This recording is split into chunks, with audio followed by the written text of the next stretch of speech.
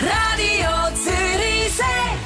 Also Erich, ihr braucht zum Wanzen aufspüren das Gerät, das du da in der Hand hast, oder? Richtig, genau. Eines von vielen Geräten, die wir zur Verfügung haben. Und ähm, wir haben jetzt so zum Beispiel so kleine Wanzen, die eigentlich verboten sind zum Verkauf und Besitz. Wir haben es einfach als Referenzgerät, zum zu prüfen, wie unsere Geräte funktionieren.